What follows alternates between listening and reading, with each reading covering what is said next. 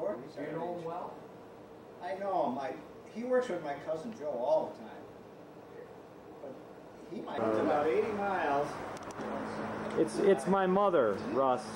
My mother's influence. See?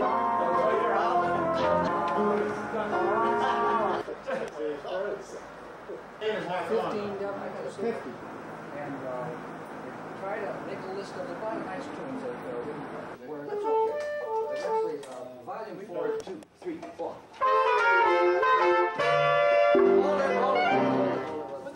You know that fan is. Oh, that fan, revolving you have to get the fan out of there, Frank. One, two,